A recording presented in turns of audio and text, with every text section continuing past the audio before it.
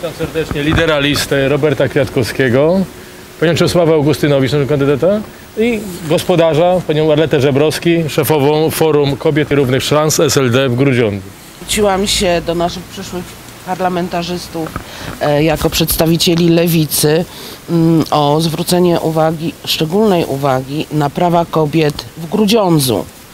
W Grudziądzu niestety te prawa kobiet są pomijane przez wszystkie rządzące ekipy, e, nie tylko na szczeblu krajowym, ale także miejskim, samorządowym. E, choćby e, nawet mowa jest o mm, Ustawa gwarantuje nam darmowe założenie, jak i wyciągnięcie wewnątrzmacicznej wkładki antykoncepcyjnej na przykład. I Grudziądz tutaj jest ostatnim miastem, jeśli chodzi o większe ośrodki miejskie w województwie. Tych procedur było wykonanych zero. Słownie zero. To znaczy, ja tutaj pokuszę się o stwierdzenie, że może dochodzić nawet do zmowy lekarzy, ginekologów, którzy nie informują o takiej możliwości, proponują zawsze prywatne y, założenie takiej wkładki. To jest koszt około 1600 zł, a nie 300 zł. Obdzwoniłam wszystkie, e, wszystkie przychodnie NFZ-u, mm, włącznie ze szpitalem, oddzia- oddziałem położniczym i poradnią w szpitalu. Tak, takiej procedury się nie wykonuje.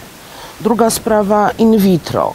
E, Wczoraj minęły dwa lata, jak, jak e, lewicowe kręgi złożyły w tym oto e, gmachu projekt uchwały in vitro dla mieszkańców. Niestety, jak wiemy, projekt upadł. Teraz prezydent mógłby ją ponowić, że tak powiem. Jednak od dwóch lat ani radni, ani e, prezydent nie interesują się tym tematem. Dlatego też zwróciłam się e, do naszych przyszłych parlamentarzystów, tutaj jedynka na naszej liście i siódemka, żeby zainteresowali się kobietami w Grudziądzu. Takich problemów jest na, naprawdę dużo, ale jak e, widać mogłam, prosi, e, e, mogłam e, e, liczyć na wsparcie. Przybyli e, z paktem dla kobiet i są w stanie ten pakt podpisać, tak? Tak jest. Tak jest. Ten apel pani przewodniczącej spotkał się oczywiście z życzliwym e, przyjęciem, tym bardziej, że e, nasza koalicja przedstawiła e, swego czasu taką po, kompleksową propozycję dotyczącą rozwiązania problemów, z którymi polskie kobiety borykają się, a które to problemy wynikają z ograniczeń e, naszego prawodawstwa.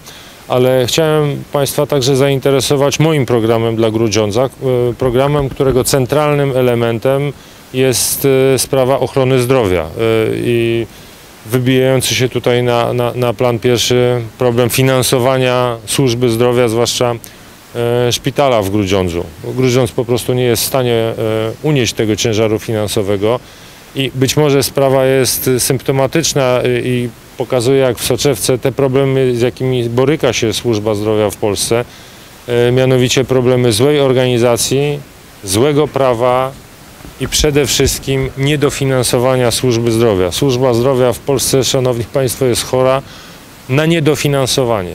E, oczywiście grzechów, błędów i zaniedbań nie brakuje, ale zasadniczym jest e, brak dofinansowania, po, który byłby na podobnym poziomie, jaki mają e, państwa, choćby Grupy Wyszehradzkiej. E, dofinansowanie, wydatki na służbę zdrowia są daleko poniżej e, wydatków na służbę zdrowia takich państw jak Węgry, na czym się wzoruje rządząca obecnie koalicja, czy choćby Czechy, na który to przypadek czy przykład chciałbym zwrócić uwagę ja.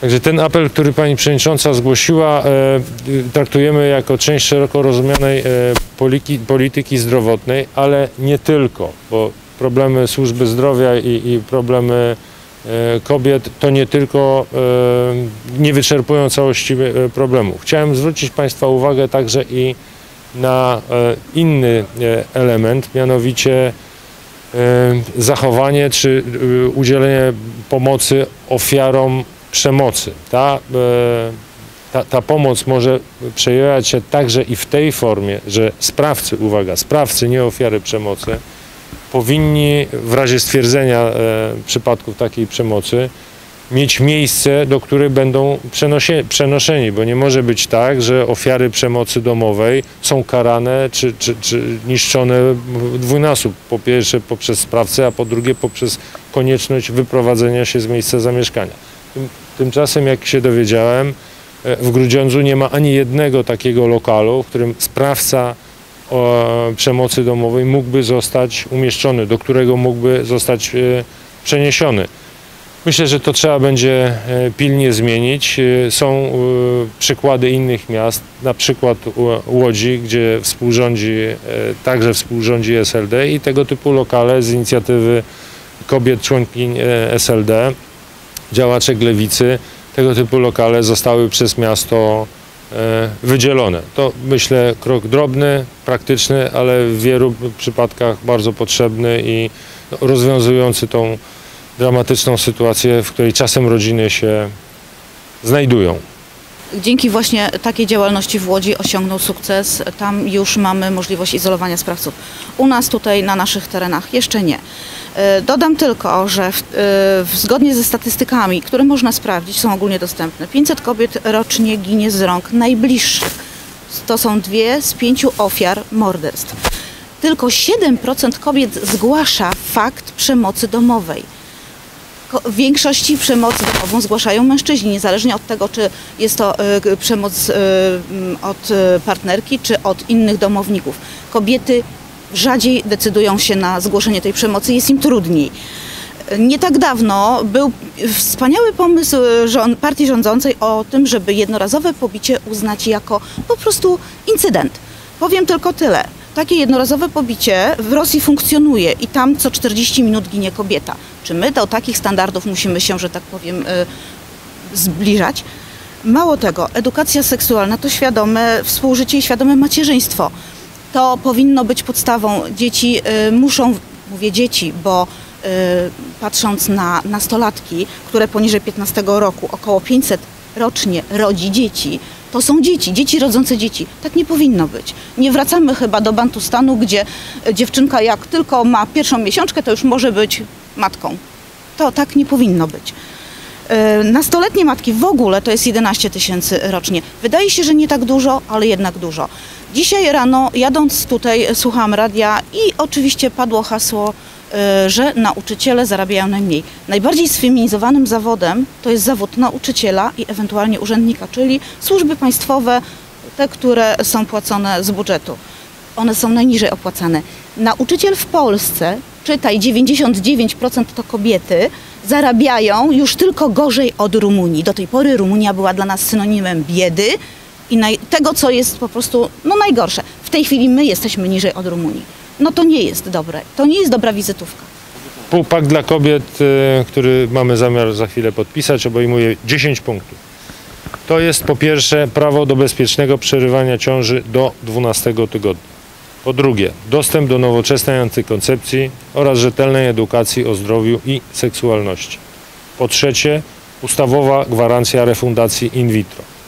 Po czwarte, gwarantowany bezpłatny dostęp do lekarza ginekologa. Po piąte, gwarancja wysokich standardów opieki okołoporodowej, w tym dostępu do znieczulenia. Po szóste, gwarancja miejsca w żłobku dla każdego dziecka. Po siódme, równość płac kobiet i mężczyzn. Po ósme, parytet płci we władzach publicznych. Po dziewiąte, natychmiastowa izolacja sprawcy przemocy domowej i edukacja antyprzemocowa w szkołach. Po dziesiąte, alimenty ściągane jak podatki. Szanowni Państwo, pozwólcie, że złożę jako pierwszy podpis.